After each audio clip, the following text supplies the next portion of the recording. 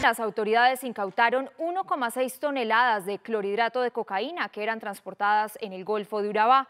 La incautación se hizo durante el desarrollo de operaciones de control marítimo por unidades de guardacostas de Urabá adscritas a la Fuerza Naval del Caribe, quienes lograron detectar la motonave sospechosa. De inmediato, los uniformados detuvieron la embarcación y encontraron en su interior 66 bultos que almacenaban 1.645 paquetes rectangulares de sustancias ilícitas. La droga, movilizada por cinco colombianos a bordo de una lancha, tiene un valor superior a los 55 millones de dólares en el mercado ilegal internacional. Las cinco personas que iban en la embarcación fueron dejadas a disposición de las autoridades.